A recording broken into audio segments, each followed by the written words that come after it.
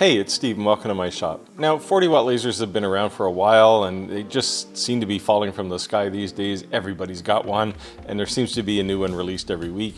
Now, this one is the Creality Falcon 2, 40 watt of course, and it isn't the absolute latest release of, of 40 watt lasers. It's been around for a few months and I finally got er, gotten around to having a look at it. So in this video, I want to put it through its paces, compare it maybe to some of the other 40 watt lasers just to see how, how it compares. We all know it's going to be a good cutter, but overall, is this a good laser? Stick around and we'll find out together.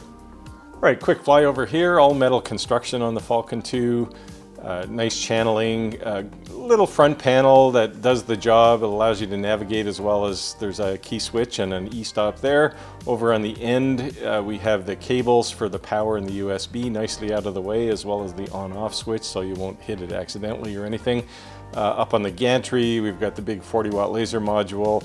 Now it does use uh, an old style focus bar and you loosen the thumb screws to, to focus it. We'll talk about that. There's also a manifold there to, to connect all the hoses and wires.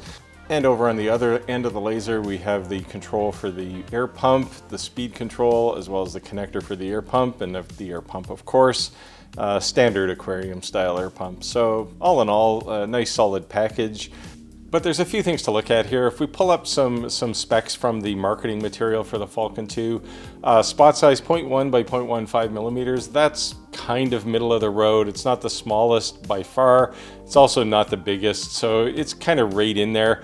Uh, working speed, however, at 25,000 millimeters a second, that's pretty slow for a 40 watt laser.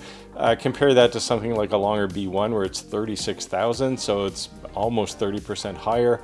Uh, quite a difference, and we'll see what the impact of that is in the results. Uh, working area 400 by 415, that's pretty typical. USB uh, connectivity only, no Wi-Fi. Uh, for me personally, that's not a huge deal. I never use Wi-Fi anyway, but uh, but there will be some who, who are worried about that. Standard uh, Lightburn and LaserGRBL interface, and the typical support files. So all in all, it's it's it's there. It's kind of an average from a performance perspective. And let's take a look at the results and we'll see what the impact of that is. So I ran the usual uh, performance test that I run, and uh, certainly the cutting test is amazing. This laser at 40 watts is easily a great cutter. Engraving, top speed here is 25,000 millimeters a second, so anything above the, the arrow I put there, those results are basically invalid. Uh, same on the gradient test, uh, anything over 25,000, they're all the same.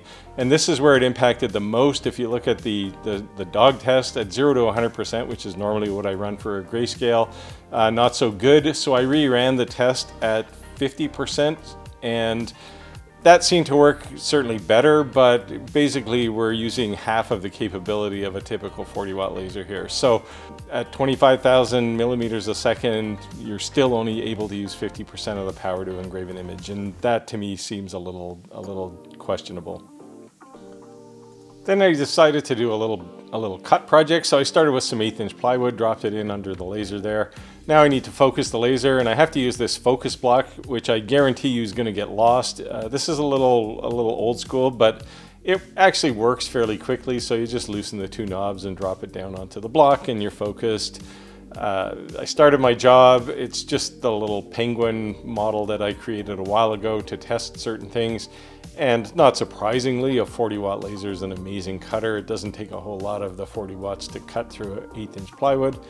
But I did the job and you can see when it's finished here, uh, it all fit together very nicely. The edges of the, of the wood here are very clean and uh, the whole thing is really precise. So nice job uh, at cutting. And now we can take a look at some things I think they did really well here on the Falcon 2 and a few things I think they could definitely do better with.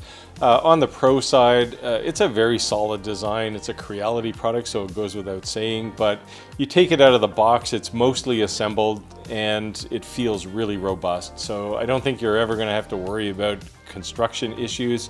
Uh, on the cutting, it's an excellent cutting laser. Yes, it's a 40 watt laser, so you would expect that. But realistically, you can cut at 900 millimeters a minute with this laser, which is better than, say, an Xtool S1 uh, and a number of other 40 watt lasers that I've tried. So good job there. And there's good feedback on this laser. So there's there's LEDs on the on the laser for all kinds of things, but most importantly, there's some indicators for the air assist, whether it's doing what it's supposed to be doing. Uh, there's an indicator there if there's a fire in the laser, and also one for detecting when the lens is dirty. So good, good for them. And uh, overall, yeah, it's a great laser. Now, there are definitely some things they need to fix on this laser to make it competitive with other 40 watt lasers. I'll start with the obvious one, the speed. At 25,000 millimeters a second for a 40 watt laser, that's just too slow. Uh, if, if that's your top speed, then don't bother with a 40 watt laser.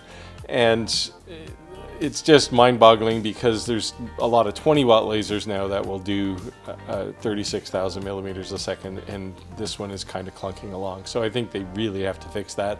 That in itself isn't a super big problem but when you start engraving you saw the image of the dog I did where uh, where at 100% it was just blowing through the material and I had to scale it back to 50% now, they do have a precise versus normal button on top of the laser module, and when the precise LED is lit up, what that really means is you're down, you've cut the laser power down to 20 watts maximum power. So that does effectively the same thing I did, which is reduce the power by 50%.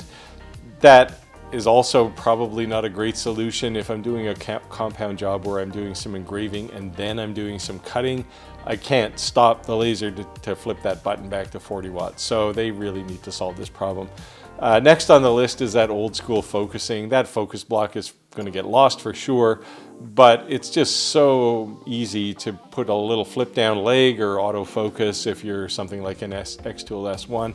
Uh, this is just too old. It's, it's too obsolete and they need to fix that.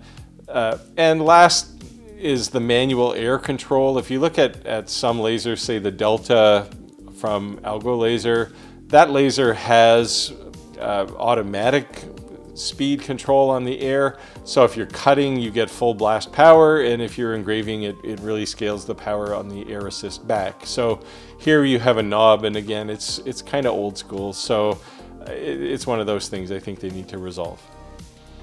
Now, just before I wind down, I'll remind you, if you like this video, make sure you click the thumbs up button because that really helps the Google engine figure out that we're doing good things here. And if you regularly watch videos on this channel, uh, also click that subscribe button because, hey, that's what inspires me to make videos. Now, I'll put uh, an affiliate link for the Creality Falcon 2 down below. If you buy from there, it helps out the channel. And uh, with that, we can wind down. So I'll say get out there, make your world, and I'll see you next time.